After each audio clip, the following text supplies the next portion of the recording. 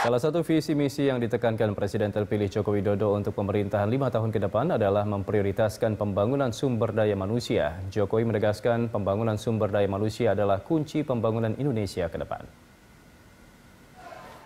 Kita akan menggeser, yaitu kepada pembangunan sumber daya manusia.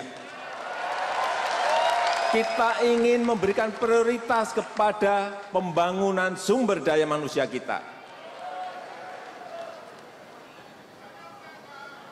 Pembangunan SDM menjadi kunci Indonesia kita ke depan.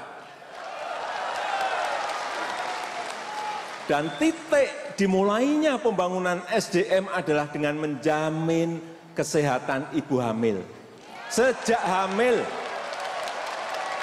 kesehatan bayi, kesehatan balita, kesehatan anak-anak sekolah kita. Ini merupakan umur emas untuk mencetak manusia Indonesia yang unggul ke depan. Itu yang harus dijaga betul.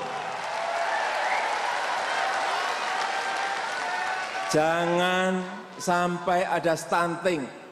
Jangan sampai ada kematian ibu, kematian bayi yang meningkat. Tugas besar kita ada di situ.